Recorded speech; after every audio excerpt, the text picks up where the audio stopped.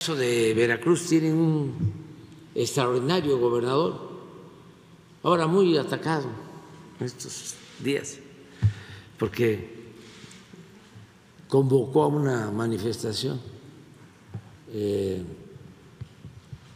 para protestar por la corrupción de jueces. Lo hizo bien. Sin embargo, se le lanzaron muy fuerte. Pero ya llevaba mucho tiempo, para decirlo eh, breve, rápido, que no se tenía en Veracruz un gobernador como Cuitláhuac García.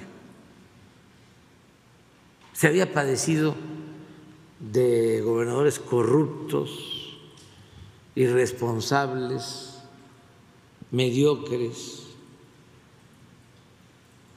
uno tras otro. Y ahora este, llega Cuitláhuac y es distinto.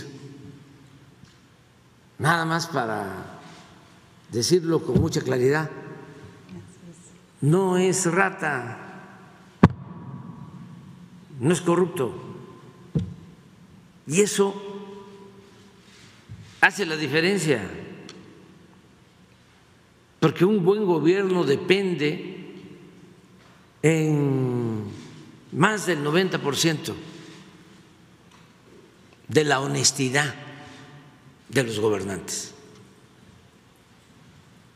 Ya todo lo demás es accesorio, es complementario, pero lo importante es la honestidad. Si llega un gobernador con el único propósito de robar, imagínense ¿qué se puede hacer? Y eso es lo que pasaba en Veracruz.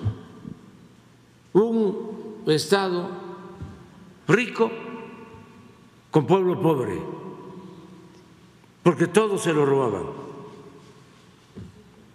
Grandes residencias en México, en el extranjero, yates, aviones